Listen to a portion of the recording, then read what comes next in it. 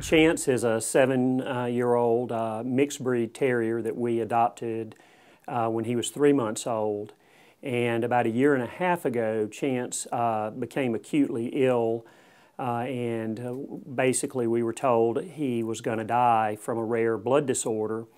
Uh, and so we sought a second opinion at a hospital in Atlanta, and he spent six days there, and uh, they told us his one-year survival was 5%. He's 17 months into that 5% survival, so he's beaten all the odds. And part of his treatment involves using several drugs, in, uh, primarily used for humans. And one is prednisone, which we can get at any pharmacy, but he's also on a compounded product of something called cyclosporin. Cyclosporin is a drug in humans that's used to prevent rejection of transplanted organs.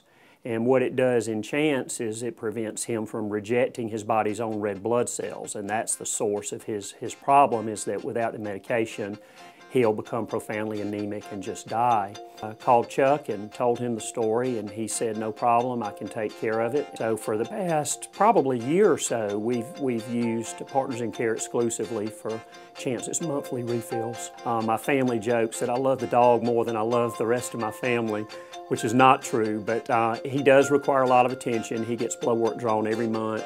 His labs are stable. Uh, they won't make any further projections of how long he might survive because he's already exceeded everybody's expectations, but he's doing well. He, uh, two weeks ago, caught a squirrel. And that's how energetic he is and how active he is.